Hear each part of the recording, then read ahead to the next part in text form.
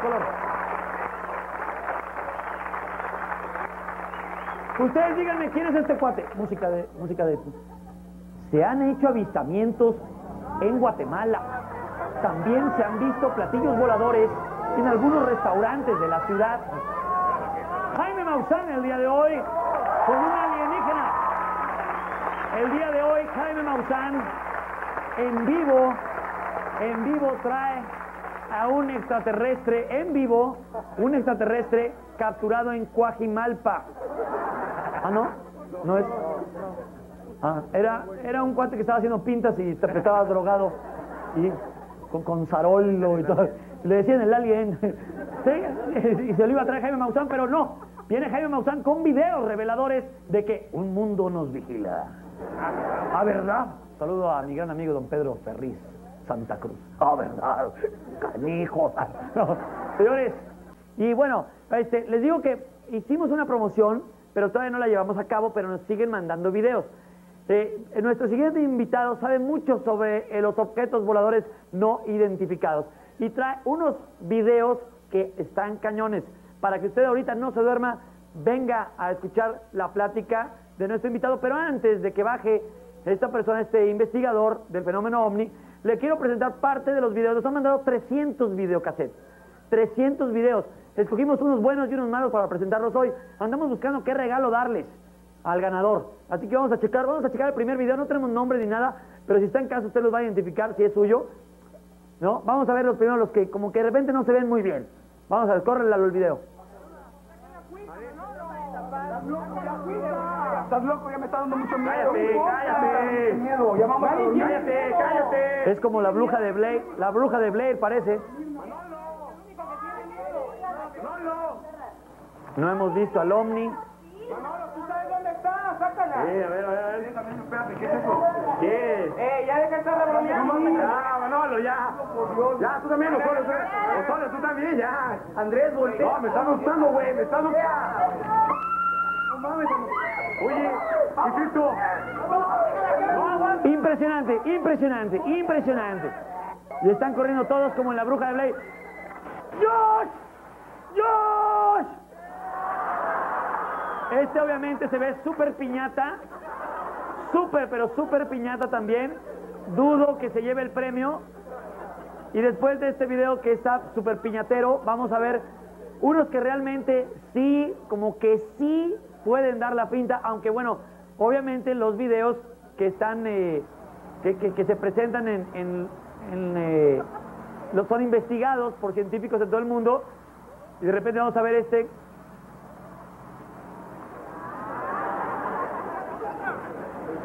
O sea, se ve bien hecho porque da la vuelta al edificio. ¡Ay! ¡fum! ¿Qué tal voló, eh? Va- vamos a ver este. Comandante, ¿qué es eso? Eh, eh, creo que es un platillo. Dios mío, ¿qué es eso? Está arriba de nosotros. Es como que un huevo gigante. Bueno, están bien hechos, estos están bien hechos, los hicieron por computadora, pero de lo, de lo dicho al hecho hay mucho trecho. ¿Qué es lo que quiero decir? Que estos videos a simple vista se pueden ver reales, pero son sometidos a muchas pruebas los videos cuando quieren presentarse en una conferencia. Y a veces no pasan la prueba porque revisan la velocidad, eh, eh, la tercera dimensión, el volumen, el tamaño, etcétera. Estos son videos que a simple vista pasan. Pero para hablarnos del fenómeno OVNI, que nos va a presentar videos que son nuevos y que son escalofriantes también y reales.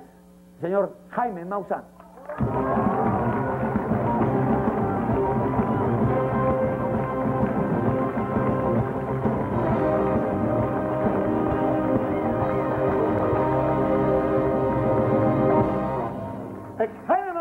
Otro rollo. Mi querido Jaime, primero que nada, déjame felicitarte porque hace una semana y fracción este, estuvimos Gaby, mi esposa y un servidor en Cuernavaca, en el auditorio Tepanzolco, y la verdad, no sé, yo creo que había como 2.500, 3.000 personas que nos mantuviste atentos durante dos horas. ¿Te gustó? I- increíble la conferencia. Si tienen oportunidad de ver a Jaime Maussan en conferencia, no se lo pierdan. Pero Jaime, pues estamos ávidos de ver ahora qué nos trae Jaime. Pues eh, traigo información extraordinaria. Déjame decirte que uno de los videos que hoy te voy a presentar Es una exclusiva mundial. Por que- primera vez se va a Por ver aquí. primera vez en el mundo. Y es tan importante que hoy en todos los Estados Unidos fue difundida la noticia esta tarde de que el video y la información se iban a presentar por primera vez aquí en tu programa en México. Todo Estados Unidos lo sabe en este momento. Nos inundaron, O sea, pues, los, pues le estamos hablando a todos. nos inundaron de, de emails diciendo estas noticias de que pues todo el mundo ya se ve en los Estados Unidos y están muy atentos de lo que está pasando. El aquí. programa se ve allá en los Estados Unidos. Hay- hay- de hecho, hay llamadas de Texas, hay llamadas de, de San Luis, Missouri, de aquí. Y bueno, pues muchas gracias. Qué bien que pasaste esta noticia allá. Pero qué bien que vas a pasar el video aquí. Déjame decirte que ¿De qué se trata el querían video? pasarlo antes, pero no lo dejamos. Qué buena Había un compromiso contigo. Muchísimas gracias, Y se respetó hasta el final, ¿De, qué- de qué se trata para saber más o menos tantito? Una, Eh, una, una calentadita. Una, una persona que mata a un ser extraterrestre, no lo mata, el ser extraterrestre, como vamos a ver, está vivo. Y es un caso extraordinario. El caso que puede... O sea, un ser humano. Ser- el- va- vamos a presentar por, primera vez en una televisión a nivel Sí, señor. Sí, señor. un hombre, caso real. un hombre que, que, que mató a un extraterrestre o que lo es. golpeó o qué hizo. Lo golpeó, pensaba que estaba muerto, pero de hecho esta noche le vamos a demostrar que está vivo y es una historia fascinante. Es una verdadera película. Esta persona nos permitió sacar el video, de hecho me buscó para que saliera en México porque quiere salvar su vida. Él ya recibió un atentado, un tiro que le, atra- le atravesó el cuerpo, una bala eh, expansiva que salió por la parte de atrás. Es decir, esto no es un juego. Y la razón por la que se está pasando en México es que no se ha permitido que esto pase en los Estados Unidos. O sea, le han cerrado las puertas a esta Es persona para que salga. importantísimo lo que vamos a tener aquí esta noche. Y, y no, es- no es juego, No, no, claro. es broma, es algo bien, bien serio. Bueno, en primer lugar, déjame decirte que hace una semana, el pasado 9 de mayo, estuve en la, la ciudad de Washington, donde fui invitado, fui el, el único periodista eh, ajeno al Club eh, eh, de Prensa, Nacional de Prensa de los Estados Unidos, que fue invitado a un evento donde aparecieron 22 testigos militares, hombres muy serios, sargentos Con mayores, claro, coroneles, serios. y ellos declararon bajo juramento que habían presenciado eventos verdaderamente extraordinarios. ¿Por qué se reúnen 22 hombres que tienen carrera militar a pedirle al gobierno de los Estados Unidos que abra esto? Porque esto es un cuento, inclusive el mexicano Enrique Colbeck, controlador aéreo, fue invitado a abrir y hablar de los casos mexicanos. Por lo tanto, estamos viendo que el nivel del fenómeno ovni es otro. Claro. Estamos ya ascendiendo. Eh, nosotros fuimos incluso a la Embajada de México a pedirles que respaldaran esto. Estuvimos ahí con eh, la- la- el personal de la Embajada y pues desde luego eh, nos atendieron muy bien y, y van a hacer lo propio para que lo que está sucediendo en México se reconozca Claro. oficialmente. Ahora, qu- quiero entender entonces, Jaime, que eh, la otra vez que estuviste con nosotros, que amablemente nos trajiste videos también, eh, que presentaste el famoso video del, De Nueva York. el, que pasa Por primera vez en la historia también, otra exclusiva mundial que tuviste. Y entonces, Jaime, quiero, quiero entender yo que en aquella ocasión nos comentaste que el Vaticano, por algunos portavoces del Vaticano, ya estaban como quedando a entender Me llamó el Vaticano. Que ya había- me dijeron que aceptaban el fenómeno adelante, Me pidieron que siguiera adelante, que estaban muy pendientes de lo que estaba haciendo. Me sorprende ver el nivel de trascendencia del trabajo realizado aquí en México. Ha llegado a todo el mundo, ha llegado al Vaticano. De verdad, Adal, esto es también para mí como si fuera una película, porque es extraordinario. Estamos abriendo brecha a nivel mundial con respecto a un fenómeno que nos interesa a todos. Ahora déjame presentarte un video que fue grabado el 28 de Todavía junio. no es, todavía no es el del. No, el del- este, este es el de Phoenix, Arizona. Es el famoso de- gigante. el famoso gigante. Te lo presento porque hace apenas un mes y medio en la ciudad de Mexicali ocurrió una situación similar a esta. Fíjate nada más qué demostración, una serie de objetos. Muchos dijeron que era un gran objeto, otros dicen que son objetos haciendo una alineación para llamar la atención. Este es considerado el mejor caso en la historia de los Estados Unidos porque hubo más de 10.000 testigos. Fíjense a la izquierda, a la izquierda está apareciendo otro, Otro más. punto. Así es. Otro punto. Pero ahora vamos a ver el de Mexicali, que fue video grabado el 28 de marzo por la señorita Estrella Vega, donde ves tú aquí, eh, pues son, eh, en primer lugar, eh, son eh, 13, más bien 9 luces y luego llegan otras cuatro. Esto está sobre las casas, fíjate tú la formación que están haciendo, es extraordinario. Para mí estos son una especie de mensajes, no sé, ¿no? Mira, ahí lo tienes nuevamente. Yo sé que hubo varios testigos, que no nada más Sí. ella los vio. Sí, hubo personas que se detuvieron. Nosotros vamos a estar mañana en la mañana en Mexicali. Vamos a completar esta investigación. Vamos a hablar con otros testigos, con la gente que vive en esta colonia, porque el caso es extraordinario. Y fíjate tú, Phoenix y Mexicali están muy cerca. Luego se acercan otros cuatro objetos, ¿sí? que me digan qué es eso, ¿son aviones? Ahora, dime ¿Son una cosa? ¿a qué altura aproximadamente estarían? Esto, ¿Calcularon? Yo, esto no está más de 100 metros por encima de las casas, 50 metros. Y mira, el otro grupo que se viene acercando, eh, muy cerca del aeropuerto, todos ellos. Eh, por lo tanto, vamos a estar mañana en el aeropuerto preguntándoles, pues, A los controladores. claro, y y todo, ¿no? pidiéndoles que nos den una explicación a esto, porque no es tan fácil ya poder explicar este, este nivel de videos. Inclusive hemos hecho una comparación porque hemos tenido este tipo de demostraciones de día. Entonces, por ejemplo, en Tampico, el 7 de diciembre de 1994, se da eh, la- el video que tenemos a la derecha, es una formación de objetos, como la ves tú, y, y podemos compararla con la que está a la izquierda, y vemos que hay figuras, por lo tanto, insisto, para mí parecerían ser Hay- señales, muchas ¿no? personas, Jaime, que de repente dicen son globos meteorológicos, pero no podrían tener este movimiento tan controlado. No, no, y fíjate tú en Se van este video, cruzando. fíjate cómo se cruzan, ¿eh? fíjate cómo Atraviesan una línea, figuras, claro. mira, aquí Ahí, al centro, chequen al centro cómo están cruzando unos. en- entonces ¿cómo le haces para que se crucen así? Claro. ¿No? Son movimientos, luego van otros tres y se mueven. Esto fue grabado en Tula el 18 de marzo de 1998 y es un video extraordinario. Mira, ahora se regresa el grupo de tres, ahora hacen figuras acá. Esto, es una demostración extraordinaria, Adán. ¿Qué- Y todo tú, está tú qué pasando crees. Jaime? ¿Tú qué crees antes de ver el video son del señales. antes de ver el video del extraterrestre que golpeó e- este ser humano y, y que lo grabó y que teme por su vida? ¿Por qué esas formaciones? ¿Tú qué crees? ¿Qué mensaje están dando? eh, no sé, matemáticos, geométricos, señales, señales de buena voluntad, de paz. Tú sabes, el otro día lo expuse, en el volcán Popocatépetl se han dado avistamientos. Curiosamente, el 19 de diciembre, el día de las erupciones, se dio un avistamiento, esta foto extraordinaria que Claro. te presenté. Después disminuyó la actividad del volcán. En el 98 vino un equipo de Noruega que demuestra que eh, cuando hay presencia de objetos, se reduce la energía del volcán. energía, claro. Y eran científicos. Por ejemplo, este video, estas imágenes son del 28 de junio del 99, pero fíjate ahora lo que pasa el 14 de febrero de, de este año. Fíjate ese objeto, fíjate lo que va a hacer con la propia cámara del Senapred. Ve cómo se va metiendo hacia el cráter. Vaya, y el Senapret era de los primeros que decía que no, no, No, iba a nos pasar siguen nada, diciendo ¿eh? que no, pero yo quisiera que me explicaran esto. Ahí tienes el objeto todavía al centro y ve qué pasa, se mete al ¿Qué cráter. temperatura habría ahí en ese momento, Jaime? Pues, este, no sé, muchos miles de grados centígrados. Claro, o sea, un objeto, hay lava ahí. Claro, un objeto a control remoto no, podría llegar, no. obviamente. Y a este objeto le toma media hora meterse. Se descarta la posibilidad de un avión, se descarta la posibilidad de un globo o de cualquier otro objeto. Además, la cámara está situada a 10 kilómetros de distancia, por lo tanto, el tamaño del objeto pues tiene que ser muy importante.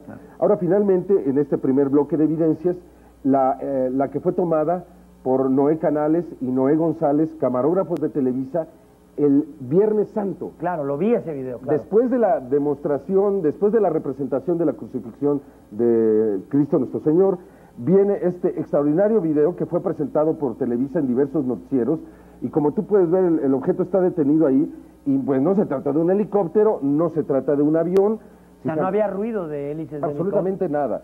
Y los camarógrafos, incluso ellos nos trajeron el video esta tarde, porque pues evidentemente que esta es una evidencia extraordinaria. Y fíjate tú qué día, el Viernes Santo. ¿En qué lugar? En el lugar donde se hace la representación de la crucifixión de nuestro Señor. Eso para mí es también un mensaje.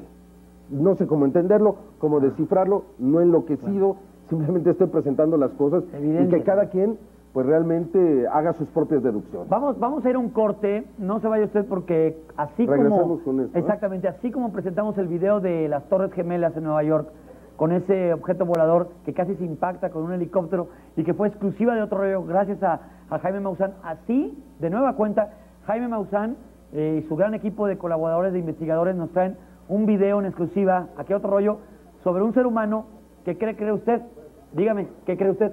Golpeó a un extraterrestre. La pregunta de hoy es, ¿le habrá golpeado fuerte o no? Regresamos. No. ¿Quién ganó?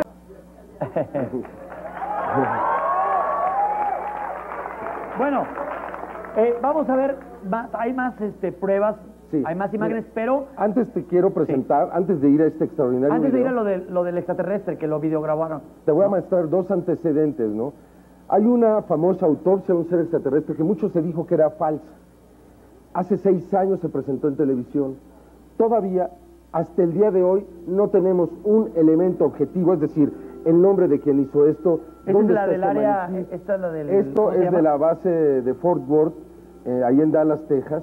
Eh, Sí, pero este- ya tiene tiempo, ¿no? Sí, esto pues salió hace seis años, pero es un antecedente de, de los primeros extraterrestres que se habrían presentado como, como tales ya en video filmado. Como prueba de un ser extraterrestre y videados. Ahora, este otro fue dado a conocer a final de 1997, pero nunca se consideró el aspecto médico. Tú aquí en esta grabación puedes ver un pulsoxímetro.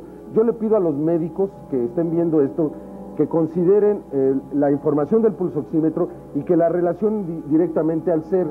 No se podría falsificar esto porque estos aparatos solamente funcionan con pulso. De tal forma que para que esto fuera falso tendría que estar una persona ahí y tendría que estarse muriendo porque como vemos el corazón le está fallando, se detiene, el ser está muy angustiado y responde sincrónicamente a la información del pulsoxímetro. Esto lo presenté en una conferencia en los Estados Unidos y se ha reabierto este caso porque fuimos los primeros, eh, Adal, que consideramos esta información desde el punto de vista médico. Todos dijeron que si esto es un, eh, son efectos especiales, nadie se puso a ver ese detalle tan extraordinario como es el pulsoxímetro y el hecho de que el ser reacciona exactamente, o sea, si, si el pulsoxímetro se detiene, el ser evidentemente manifiesta dolor, se está muriendo, como vemos, y finalmente se murió, que es muy vergonzoso y triste para nosotros.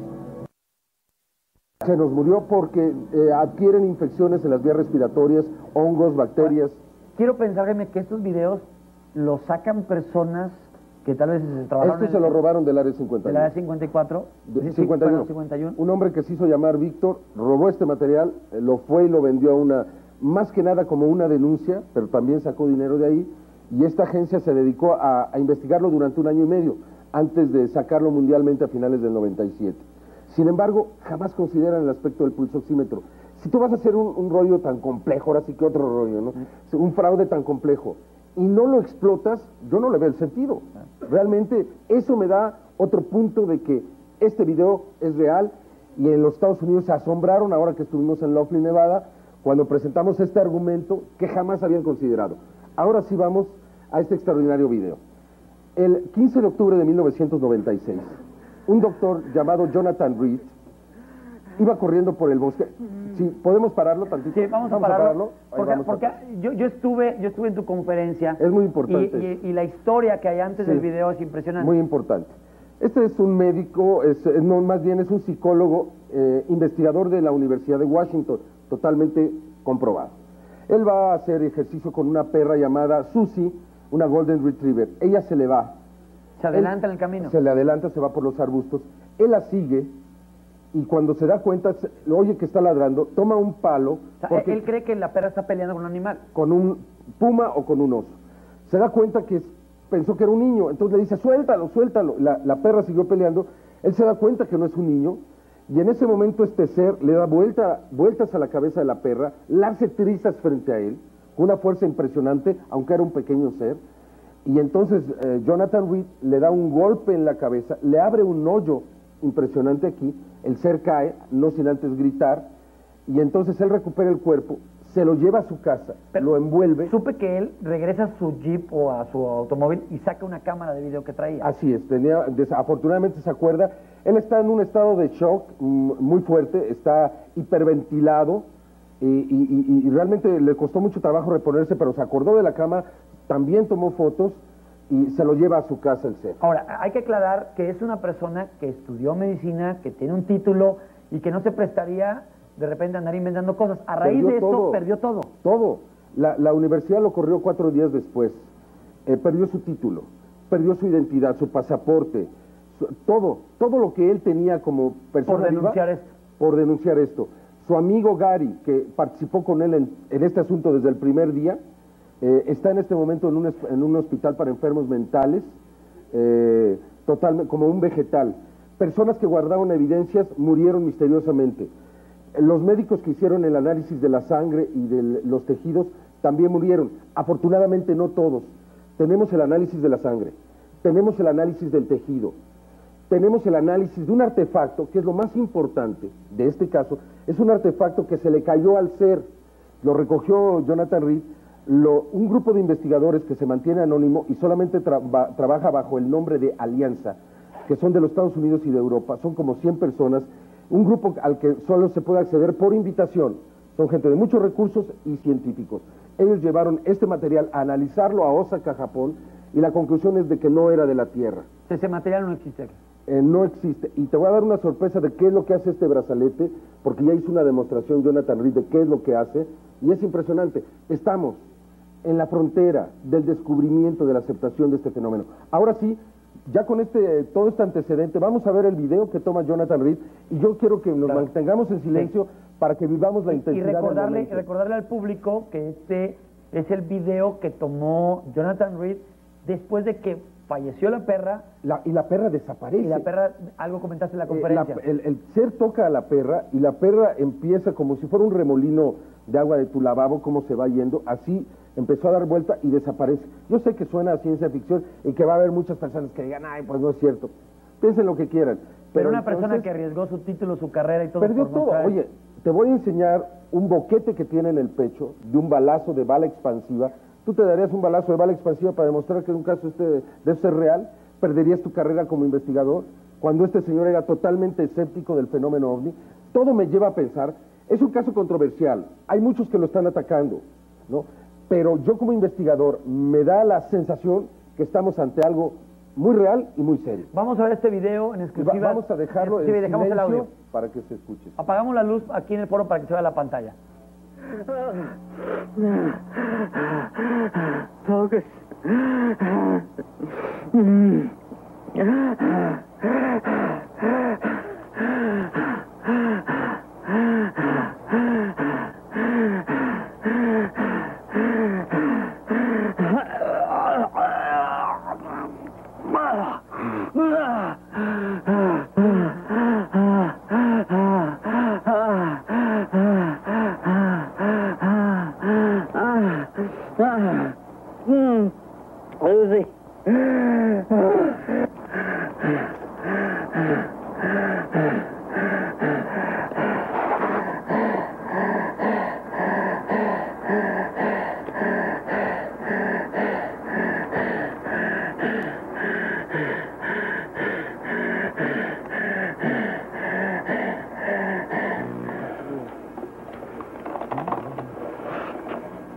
Aquí observa con mucho cuidado. Ajá.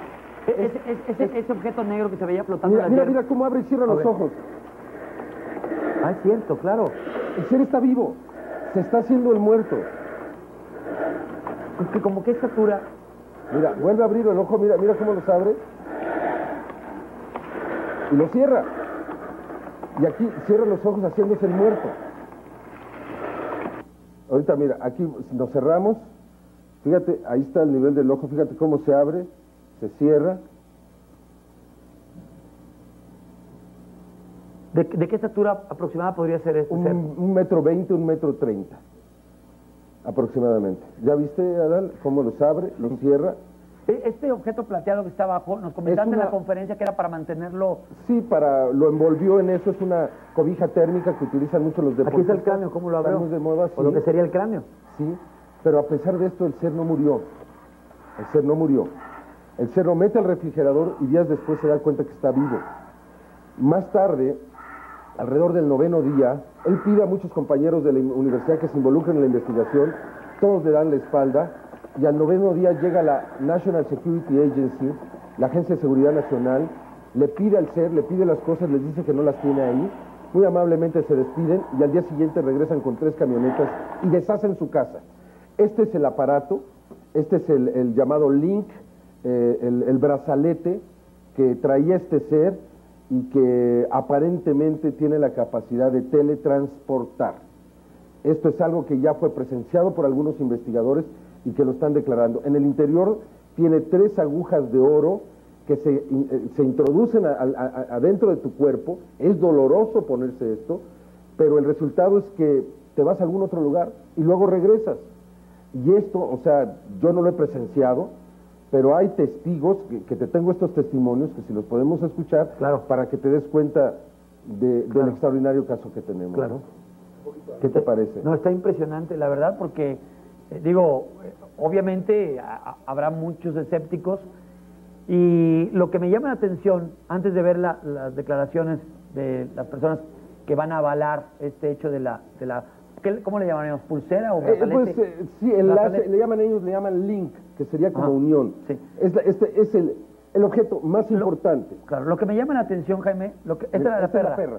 Esta Lo que me llama la atención, Jaime, este, es la cantidad de generales o militares que en Washington Están pidiendo que esto se están abra. pidiendo que esto se abra y que ellos vieron este, Mira, este mira- tipo de asuntos. Mira los ojos del ser. Este es el ser de Jonathan Reed, que lo grabó, creo que fue en la mesa de su casa, ¿no? En la mesa de su casa, a la mañana siguiente, eh, durante toda la noche se paró y fue a verlo porque creía que había soñado algo muy extraño. Imagínate la experiencia, el shock, el momento emocional, alguien que no tenía ningún conocimiento de este fenómeno. Quiero recordarles que por primera vez en el mundo se están viendo estas imágenes, que estoy seguro, Jaime, que ahora sí que van a, válgame la redundancia, va a recorrer el mundo estas imágenes porque lo están viendo en muchos países este ojos. programa. Sí, y, y este, y, y yo pienso que ya estamos en tiempo, estamos en un nuevo milenio para que se abra esta información. Aquí la fortuna, mira, Este es el objeto. Este es el objeto, el obelisco que estaba allí en la selva entre los arbustos, ¿no? Y está flotando. Está flotando. Él no lo pudo mover, lo tocó con sus manos, le quemó las manos y, y de tal forma que no lo pudo mover, el objeto se quedó ahí, después regresó y el objeto ya no estaba ahí. Eh, Si es esto una nave o si no lo es, realmente no lo sé, ni, qué, ni para qué servía. Pero lo que parece que, eh, lo más importante es que tenemos un objeto físico, que era lo que tantas personas pedían. Este está bajo resguardo, está en Europa. Pero mm, hoy en la tarde que hablé con ellos me dijeron que están listos a que muy próximamente se hará una demostración pública, mundial, sobre este aparato. Pero antes lo que se tiene que hacer es lo que se está haciendo en este programa. Se tiene que dar a conocer. Este es el Jonathan Reed. Jonathan Reed. Él teme por su vida. ¿Quieres que lo escuchemos? Sí, por favor. con el aspecto de un niño de aproximadamente un metro veinte de altura. Tenía dos brazos, tenía dos piernas, y era de color oscuro y tenía una cabeza grisácea. Se encontraba vibrando violentamente, como si fueran espasmos. Yo podía ver solo la silueta de esta figura, pero era como si fuera un niño. Y conforme yo miraba, esta cosa le hizo un hoyo a mi perro, o bien mi perro se hizo un hoyo con esta por el brazo. Yo le grité a Susie que lo dejara ir, pero no lo dejó ir. Y esta cosa lo agarró por esta parte y parte del brazo se extendió hasta su cabeza y lo tomó, zarandeando su cuerpo de un lado al otro constantemente, en solo instantes. Y se trataba de un perro grande. Yo grité nuevamente y esto dejó de vibrar por unos momentos mientras me miraba. Y después comenzó a vibrar otra vez. Y mientras lo miraba, como le torcía el cuello hasta darle la vuelta. Y había sangre por todas partes. Ella comenzó poco a poco a morir.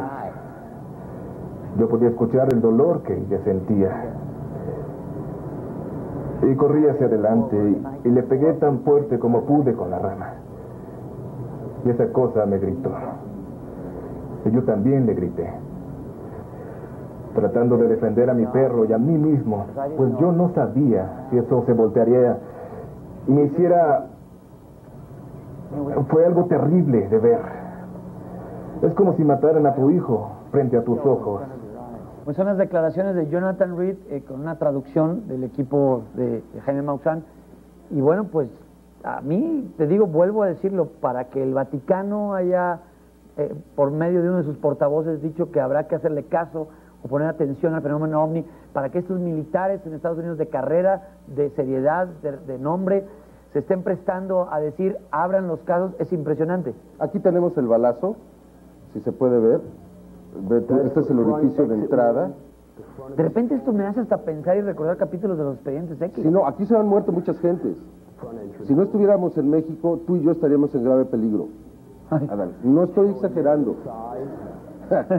Bueno, este, Gaby- ¿Para qué se lo dije, verdad? Sí, sí. Mira, aquí ve el orificio de entrada. Este es un tiro de una bala expansiva a 9 milímetros. Que ahí ya no estás jugando, ¿verdad? El señor no se pudo dar un tiro. Si vemos la parte posterior, vas a ver el orificio de salida. Y el ori- mira nada más, eh, mira esto. Digo, tú no te vas a dar un tiro así para demostrarle al mundo que viviste una experiencia real, Y ¿verdad? este, y este es Jonathan Reed. Sí, este es un... Está dispuesto a venir a tu programa si tú lo invitas. Por primera vez en el mundo también, y lo quiere hacer también por poner a salvo su vida y porque este caso se conozca. Él me buscó en noviembre cuando fui a, a- a dar una, una conferencia en Santa Fe, Nuevo México, me volvió a buscar ahora en Laughlin, Nevada, y me puso toda la disposición, porque sabe que en México hay mayor libertad en este ámbito, en el fenómeno ovni extraterrestre, en los medios de comunicación, que lo que lo hay en los Estados Unidos. Dime una cosa, Jaime. ¿Te has acercado o has pedido audiencia para hablar de este caso, como otros investigadores en otros países, con el presidente, con Vicente Fox? No lo he hecho, pero las personas de Washington quieren verlo y quieren hablar con él. Traigo videos, traigo una invitación. Ellos están de acuerdo en formar un grupo con Gorbachev, Tony Blair de Inglaterra y el presidente Fox para que pues eh, abran esto. Yo no sé si al Digo, es que hay que presidente recordar Fox que le, interesa o no, ¿no? hay que recordar que México es uno de los lugares de mayor avistamiento de. Y los controladores aéreos lo saben y los pilotos lo saben. Y afecta su seguridad. Por eso estuvo ahí Enrique Colbe. Él dijo, yo no sé si esto es extraterrestre o no, pero afecta la seguridad aérea y por eso tenemos que estar informados. Tenemos que darle apertura a esto. Nosotros estamos preparando una propuesta a nivel nacional para que el presidente y para que México acepte la... re- Si quieren, no digan que es extraterrestre, no digamos que es extraterrestre. Es un fenómeno. Digamos que es un fenómeno que existe. Ya, no se le puede seguir ridiculizando a veces como, como se hace, Claro. ¿no? Esto es algo muy serio. Esto afecta a nuestros hijos. Esto es parte del futuro del ser humano. Esto de alguna manera nos demuestra que tenemos que cuidar la tierra. Realmente el mensaje final es que tenemos que preparar al mundo del mañana, al mundo de los hijos. Evitar que ocurran tantas crisis que se aproximan, la explosión demográfica, la extinción masiva de especies animales, vegetales, el agua potable, el suelo, etcétera, etcétera. ¿no? Oye, Jaime, eh, yo tengo entendido que, que uno de los mensajes también que se puede obtener del fenómeno ovni, o de ver ya, ya no el fenómeno ovni, de ya ver platillos voladores o naves extraterrestres, es que ellos sí tienen la tecnología de viajar a velocidad Claro, luz, más allá de la velocidad, que nosotros no. más allá de la velocidad Entonces, de como la nosotros no lo tenemos, entonces no es cierto. ¿Cómo podemos ser tan arrogantes? pero casualmente, digo, no casualmente, eh, eh, investigaciones científicos en Estados Unidos están tratando de hacer un transporte Claro. que viaje más ya rápido que la luz. mucha de esta tecnología existe, pero se mantiene oculta, digamos como tecnología negra, como le llaman allá, eh, porque como esto no se abre y como los Estados Unidos no quiere que esta tecnología caiga en manos enemigas, pues entonces se sigue manteniendo mientras tanto que sea posible, todo el tiempo que se pueda, lo van a mantener igual. Pero el fenómeno ya es muy evidente. En México, el, el 13 de abril, lo que pasó en Mexicali, lo que pasó el año pasado en el Popocatépetl, el video de Nueva York. Hay un video que se tomó el 8 de abril en San Francisco, que te prometo que te voy a traer aquí, y que es otro video extraordinario. Esto está pasando, está pasando, se está acercando, y ya no lo pueden evitar, ya no lo pueden tapar. Pues mi querido Jaime, eh, estamos Hay un testimonio más, ¿eh? ¿quieres ¿De quién es? escucharlo? Eh, es, ¿Qué es lo que pasa con este brazalete cuando Vamos, se lo pone? Vamos a verlo, hay tiempo todavía. Le vamos a mandar un corte, porque tenemos a un terrestre que es Pablo Montero en un momento más. Pero vamos a ver este, este, este video, este, este Testimonio. testimonio. Ya está. Por cierto, quiero, quiero decirles que, que te- tienes fechas para presentarte en conferencias, ¿verdad? Sí, eh, mañana me voy a, voy a estar el viernes en Tijuana, el sábado voy a estar en Ensenada, el 31 voy a estar en Veracruz. ¿Por qué tengo que llevar esto? La mejor manera, tú lo has visto, es a través de estas conferencias. Aquí está Jonathan Reed y el que está a, a, su lado, a su lado, es ¿quién eh, Dan McAvoy, investigador. Jonathan puso Investigador. lentamente el enlace en su muñeca izquierda y lo forzó a ajustarse a su propio brazo. Yo observé cómo él hacía esto con mucho dolor. Repentinamente el enlace cambió de muy brillante a un aspecto como de hielo, como, como si estuviera congelado y. Y esto se ajustó a su brazo cerrándose completamente alrededor de él. Era algo impresionante de ver. Observábamos cómo ese artefacto se cerraba sobre su brazo, como si estuviera vivo. Entonces Jonathan comenzó a sentir menos dolor, la mueca de dolor desapareció de su cara, y entonces puso sus dedos arriba y apretó algunos de los botones, y de un solo golpe él desapareció.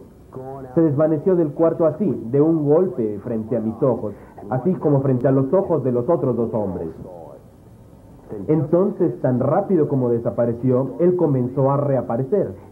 Fue como si, como si se hubiera desvanecido y en un lapso de unos 5 o 6 segundos, Jonathan habría regresado totalmente y estaba nuevamente en el cuarto sentado en una silla junto a mí. La habitación se sentía un poco fría y Jonathan comenzó a ver algo que lo cambió. Parecía diferente. En una esquina del cuarto comencé a ver cómo suavemente una luz centellante comenzó a volverse cada vez más brillante. Me quedé viéndola y me di cuenta de que comenzaba a tomar forma. Una silueta, casi como la forma de un ser humano, pero sin brazos o, o sin, sin brazos o sin rasgos reconocibles, pero era sencillamente la silueta de una, de una forma humana. Yo he visto muchas cosas, pero nunca había visto algo como esto. Estaba desconcertado y parecía que esta forma luminosa estaba al control de la situación allí adentro. Esta forma luminosa parecía controlar todo en el cuarto y de cada cosa que nosotros hiciéramos. Entonces pareció comenzar lo que llamaríamos un intercambio de comunicación con Jonathan. Era algo no, no verbal, sino que se podía ver como su cara, se podía ver como como si se comunicara con eso. No hablaban, pero claramente se veía cómo se comunicaban entre ellos. Eh, pues la invitación está abierta, yo Jaime Maussan, si Jonathan Reed eh, quiere venir aquí al programa de Otro Rollo, Sí. las puertas están abiertas y nos encantaría Él me pidió que si podríamos, desde luego esto estará mañana en esmas.com, así es. Sí, claro. Y, y también, pues eh, sus eh, sitios, desde luego está en el mío, eh, ovnis.com.mx, y él tiene dos sitios, aliendestiny.com y odysseylink.net. Aquí, Son las direcciones que tiene Jonathan Reed. sí. Han estado saliendo en pantalla todo este tiempo. Jaime, muchísimas gracias. Muchas, Sí. muchas gracias. ¿Te ¿Querías puedo- agregar algo? Sí, nada más este, que voy a estar el 9 de junio aquí en la Ciudad de México. Tengo dos años de no y voy a presentar todas estas historias completas. El 19 eh, estaré de junio en Jalapa, el 22 en, en Villahermosa, Saltillo, Torreón, Monte- regreso a Monterrey el 17 de junio. Pues la verdad, a mí me encantó tu conferencia en Cuernavaca hace ¿Te dos semanas. Me, me encantó a Gaby y a un servidor. Tuvimos que irnos de la atención de la gente, ¿verdad? La atención, no vuela una mosca en ese momento. Y gracias por tenernos la confianza para presentar este tipo de pruebas. Para mí es muy importante y hacerlo en tu programa se ve y se escucha tanto que tiene un impacto importantísimo. Adal. Esto que hemos hecho esta noche aquí pasará en la historia. Mañana muchos nos van a criticar y van a decir cosas de ambos, que estamos locos, que ya queremos... Pero ahí mí ya lo dicen. Ahí están, y ahí está un instrumento, ahí está un aparato, se va a dar a conocer, esto no ha terminado, esta investigación apenas se está iniciando. Y otro rollo forma parte de ella. Vamos a un corte, gracias Jaime Ausani está Pablo Montero. ¿Sí o no, mi querido Ben Brillo? Así es, mi querido Alan.